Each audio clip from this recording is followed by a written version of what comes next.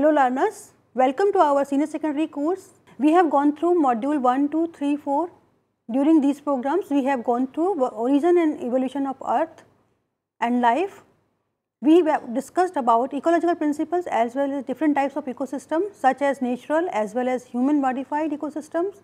We have discussed about human impact on environment. We have also discussed various contemporary issues dealt in module 4. Now we are taking our journey towards for module 5. This module deals with conservation of environment such as biodiversity and other natural resources such as land, soil and water and energy and various metals and non-metals etc. For this program we will discuss about conservation of biodiversity. This is lesson 15th of module 5. During this program we will discuss about biodiversity, its importance and causes of loss of biodiversity. We will also discuss about various in situ and ex situ methods of conservation and legal measures adopted by national and international labels. Biodiversity include total number of plants, animals and microorganisms. Bio means biological, diversity, variety. I am Nilam Gupta, course coordinator environmental science of NIOS. Welcome you in this program. We have with us Dr. Padmaja Saxena, assistant professor, Dayal Singh College, University of Delhi. Welcome you ma'am in this program. Thank you Neelam. Learners, now we will start with biological diversity. Sum total of all the variety of living organism on earth constitute biodiversity. Biological diversity is usually considered at three different levels. One is genetic diversity that is at genetic level. Second is species diversity which is at the level of species and the third is ecosystem diversity which is studied at the level of ecosystem. We will discuss each of the diversity in detail now. Genetic diversity, it refers to the variety of genes contained within species of plants, animals and microorganisms. New genetic variation in individuals occur by gene and chromosomal mutation and in organisms with sexual reproduction it spreads across the population by recombination. The differences could be in alleles, in the entire gene or in the chromosomal structure. The amount of genetic variation present in an interbreeding population is shaped or decided by the process of natural selection. India has high genetic diversity and is regarded as a Vavilov center of high crop genetic diversity, which is named after the Russian agrobotanist N.I. Vavilov. Now, species diversity, it refers to the variety of species within a geographical area. Species diversity can be measured in terms of species richness, which is the number of various species in a defined area, species abundance which refers to the relative numbers among species. For example, the number of species of plants, animal and microorganisms may be more in an area than that recorded in another area. You can see in the diagram the diversity among bird species. Taxonomic or phylogenetic diversity it refers to the genetic relationship between different group of species. When taxonomically unrelated species are present in an area, the area represents greater species diversity as compared to an area represented by taxonomically related species. We come to ecosystem diversity. It refers to the presence of different types of ecosystem. Ecosystem diversity encompasses the broad differences between ecosystem and the diversity of the habitat and ecological processes occurring within an each ecosystem type. As we see that the tropical South India with rich species diversity will have altogether different structure compared to the desert ecosystem which has far less number of plants and animal species. The same differences we can observe in marine habitat that is in fresh water, sea or an ocean. So, this is the diagram depicting ecosystem biodiversity. Now, number of species of animal and plants is shown in this bar diagram. India is a country of vast diversity and it is among 12 mega diversities countries in the world. It has very diverse terrestrial and aquatic ecosystems ranging from ice capped Himalayas to deserts, from arid shrub to grassland to wetlands and tropical rainforests, from coral reefs to the deep sea. Each of these comprises a great variety of habitat and interaction between and within biotic and abiotic components. The most diversity rich areas are the western Ghats and the northeastern region. A very large number of species found in these ecosystems are endemic that is they are found nowhere else except in India. These are concentrated mainly in northeast, western Ghats, northwest Himalaya and Andaman and Nicobar islands. Now, hotspot of biodiversity.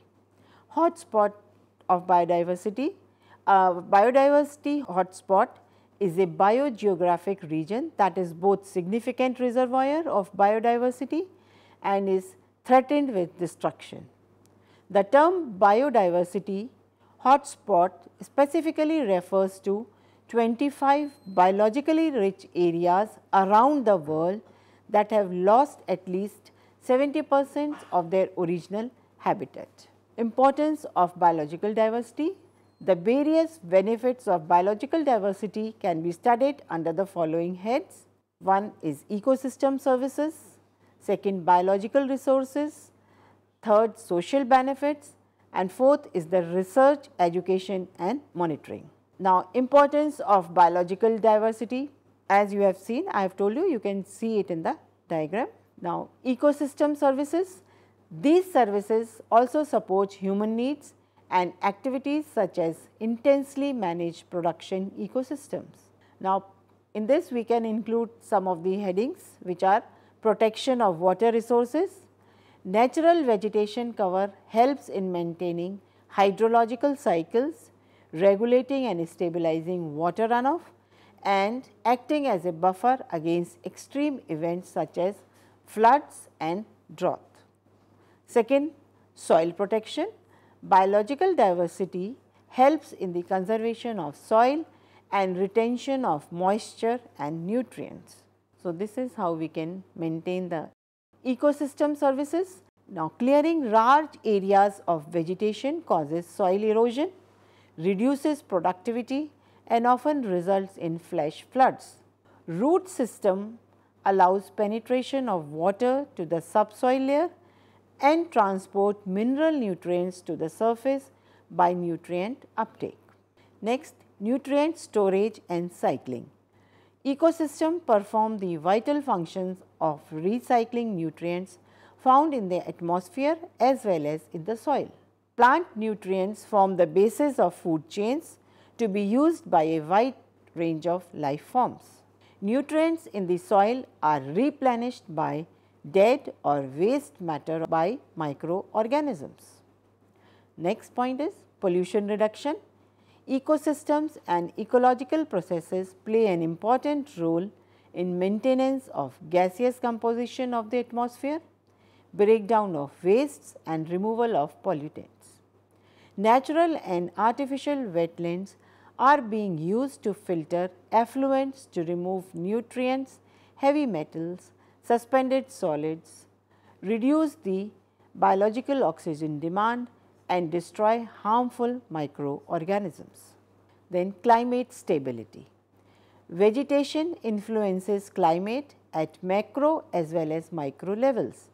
Undisturbed forests help to maintain the rainfall in the vicinity by recycling water vapors at a steady rate back into the atmosphere.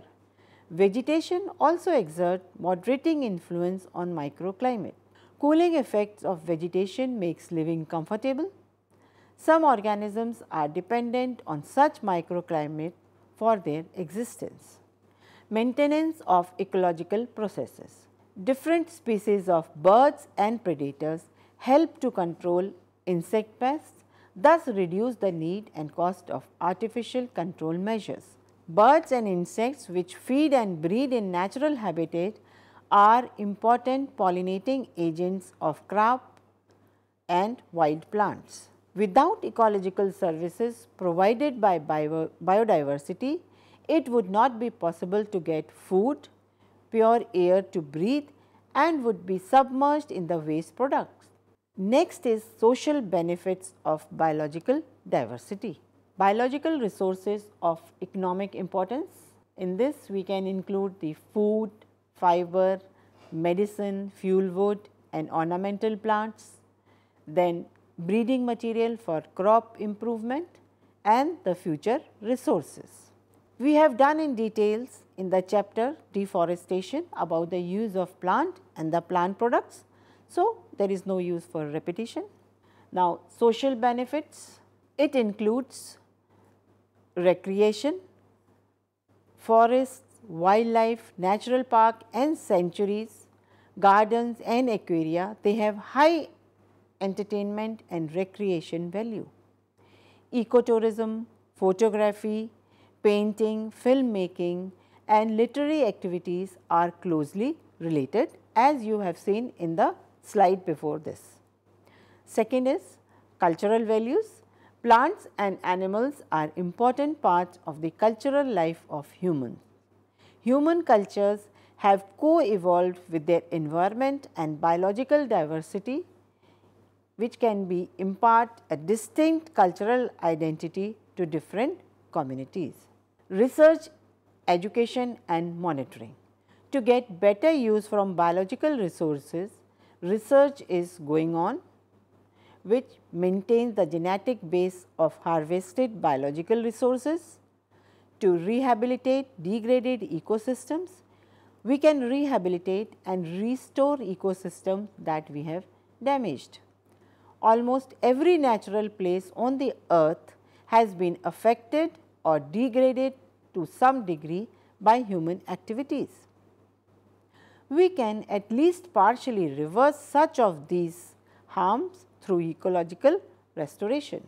This can be done by forestation which will save the environment, the soil, climate and wildlife etc. Tissue culture, gene bank, use of insects and other pest resistant plants. Now, uniqueness of Indian biodiversity. India is uniquely rich in all aspects of biodiversity including ecosystem, species and genetic biodiversity. It has some of the world's most biodiverse regions like the deserts, high mountains, highlands, tropical and temperate forests, swamplands, plains, grasslands, areas surrounding rivers as well as islands. The eastern Himalayas region encompassing Bhutan, northeastern India and southern, central and eastern Nepal. The region is geologically young and shows high altitudinal variation. It has nearly 163 globally threatened species including one horned rhinoceros, the wild Asian water buffalo and in all 45 mammals 50 birds, 17 reptiles, 12 amphibians, 3 invertebrates and 36 plant species.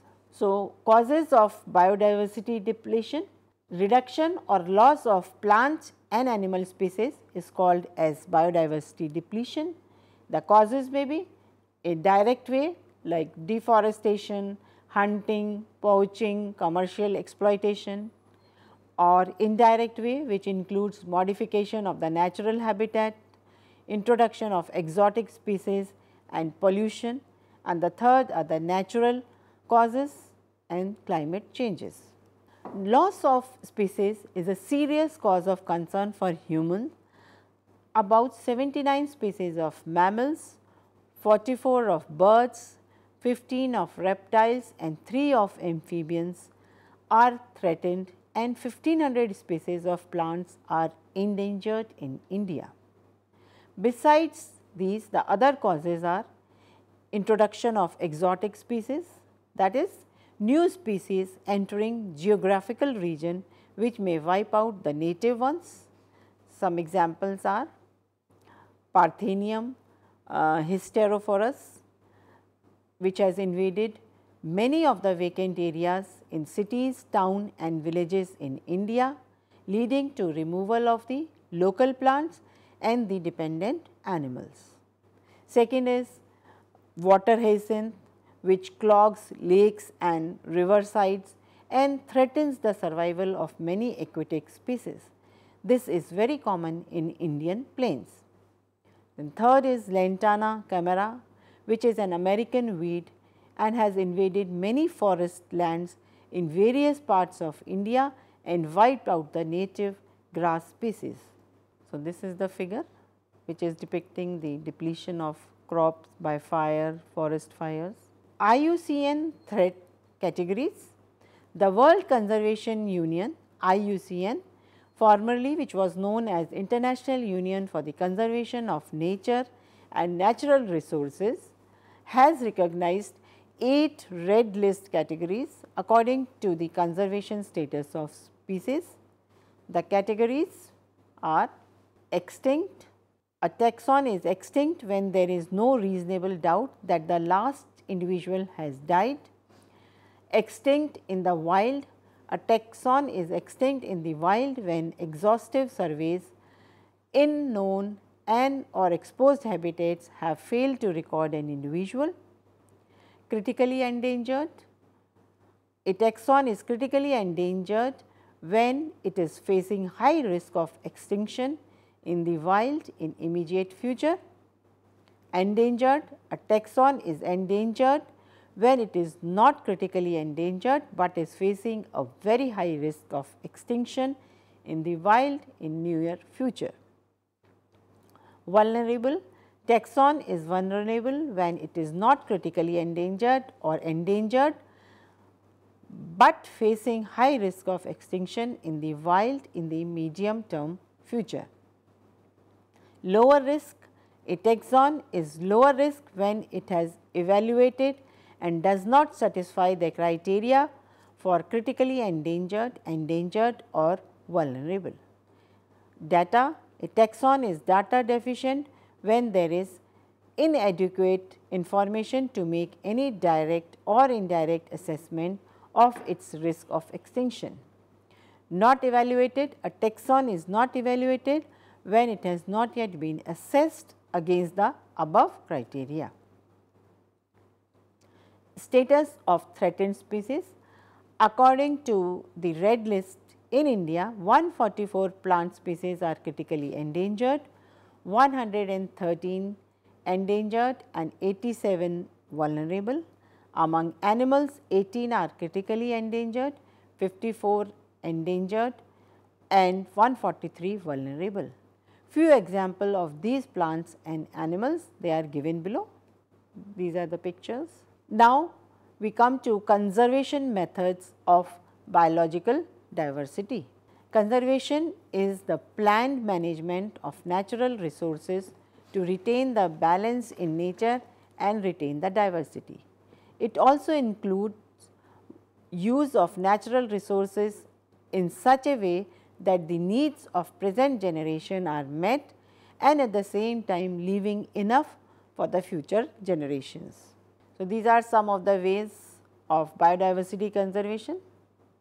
We can grow trees, recycling, saving paper, saving water and electricity, carpooling, promoting bike riding. Conservation of biodiversity is important to prevent the loss of genetic diversity of a species, save a species from becoming extinct and protect ecosystem damage and degradation. Conservation strategies. Conservation efforts can be grouped into the following two categories. One is in situ conservation and the second is ex situ conservation.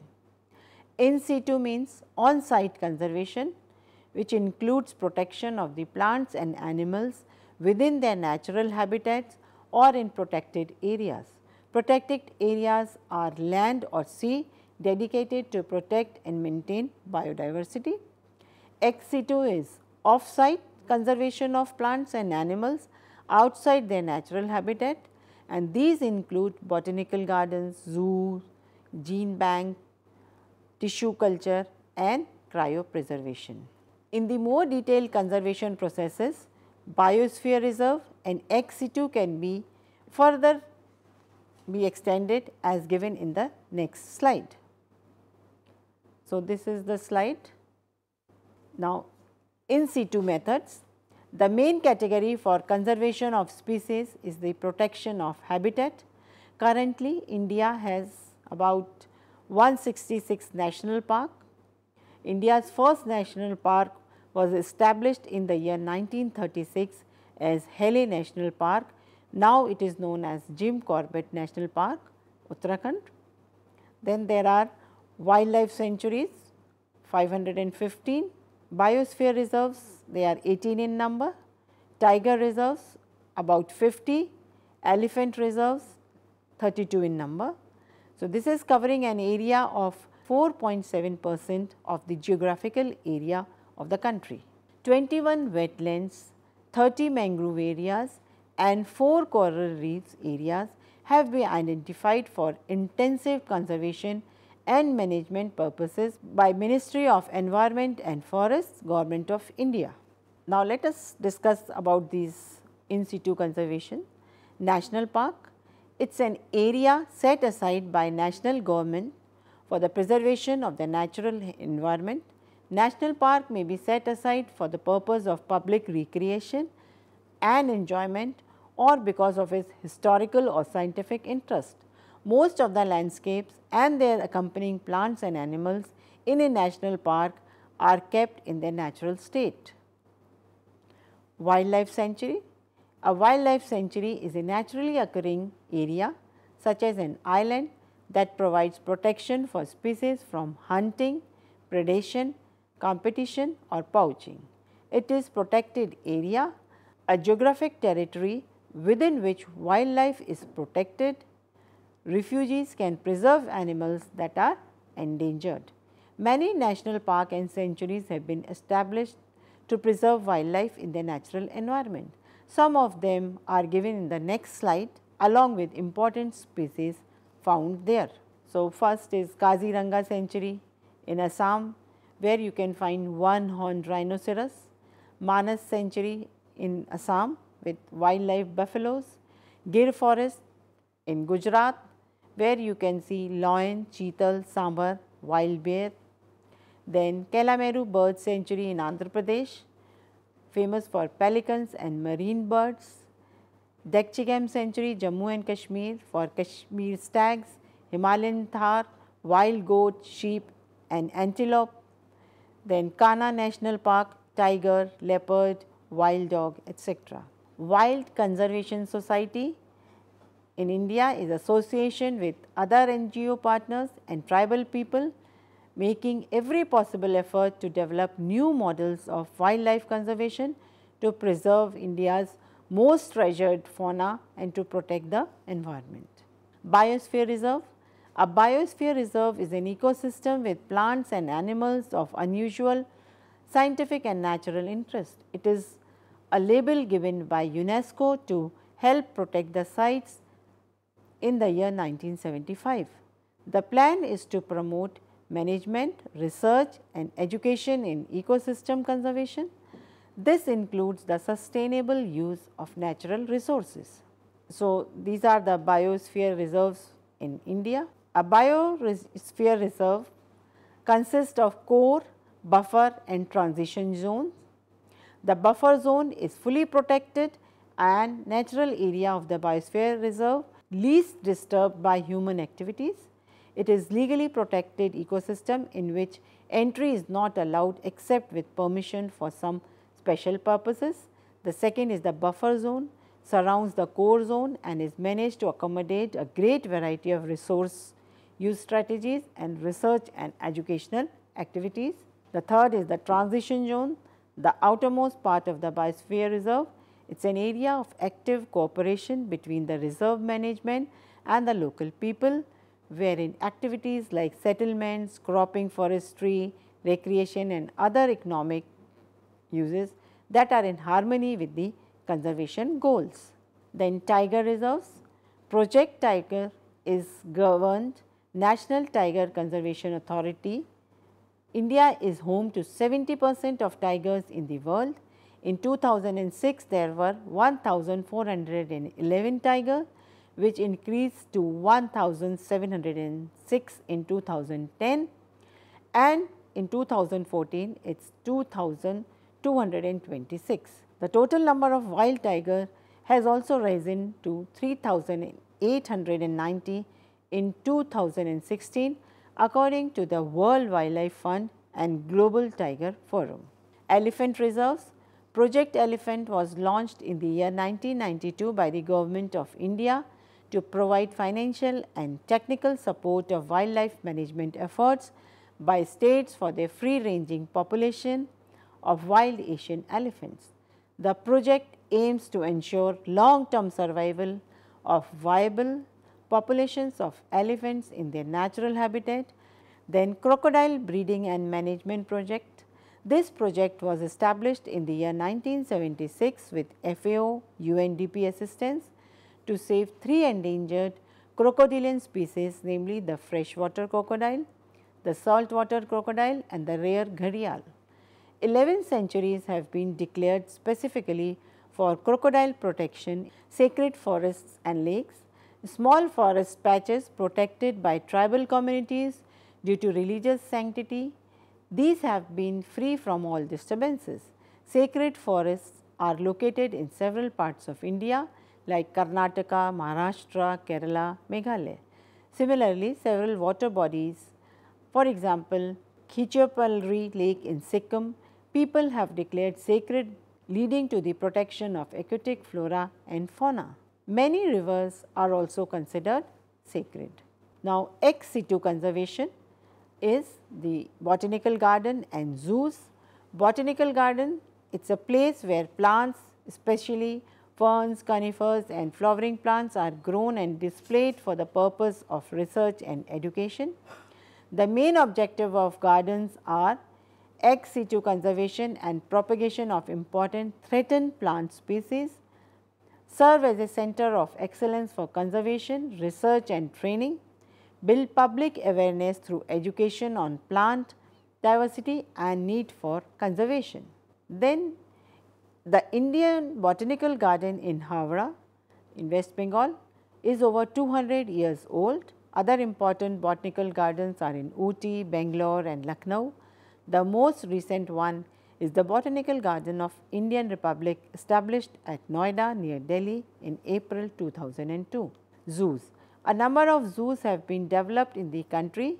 These zoological parks have been looked upon essentially as center of education, about animal species and recreation.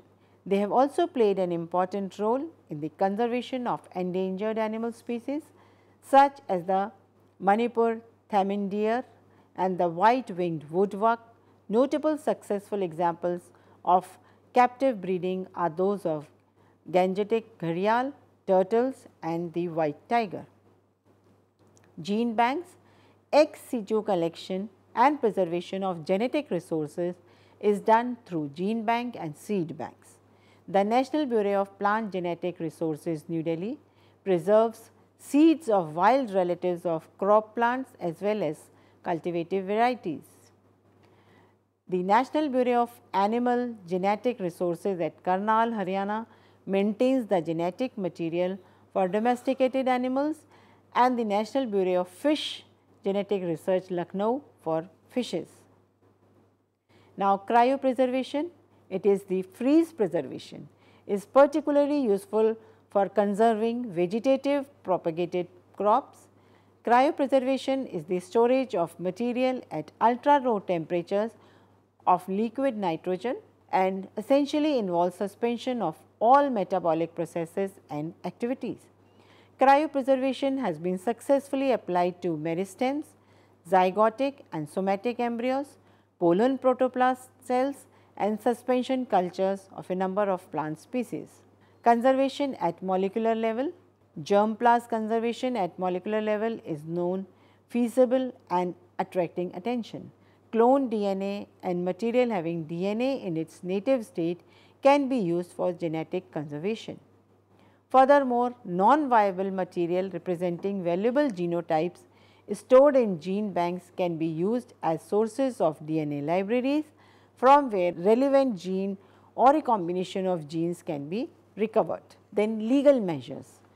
Market demand for some body parts like bones of tiger, rhino horns, fur, ivory, skin, musk, peacock feather etc. results in killing the wild animal. The Wildlife Protection Act of 1972 contained provisions for penalties or punishment to prevent poaching and illegal trade. India is also a signatory to the Convention of International Trade in Endangered Species of Wild Fauna and Flora. The convention entered into force on 1st July 1975. So, these are the legal measures. Government of India has also passed the Biological Diversity Act of 2002, an act to provide for conservation of biological diversity, sustainable use of its component and fair and equitable sharing of the benefits arising out of the use of biological resources, knowledge and for matters connected thereafter or incidental thereto, whereas India is rich in biological diversity and associated traditional and contemporary knowledge system relating thereto. This is all about the biological diversity, how we can protect it and conserve it Thank you. Thank you Dr. Padmaja for sharing information related to biodiversity, conservation of the lesson 15. Before we wrap up, we would like to recap the main points that is uh, what you have learned. Study of biodiversity have become very important. Biodiversity has three labels genetic, species and community of or ecosystem biodiversity.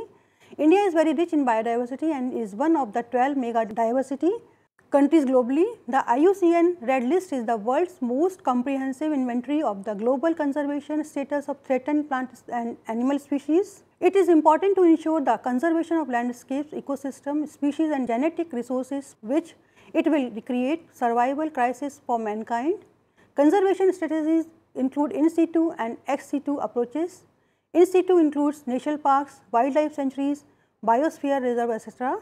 Ex situ conservation includes botanical gardens, zoos, gene banks and seed banks, cryopreservation and preservation of germplasm. The Wildlife Protection Act 1972 and Biodiversity Act 2002 at the national level and the CITES and the Convention on Biodiversity at the international level regulate the trade in biodiversity and promote its conservation and sustainable use. So, the key objective of this lesson is conservation of biological diversity, sustainable of biodiversity and fair sharing of benefits from utilization of genetic resources. So, save biodiversity and protect the mother earth. Dear learners, this is all about lesson 15 biological diversity or biodiversity conservation. We will come again to meet you with a new program of environmental science. Thank you.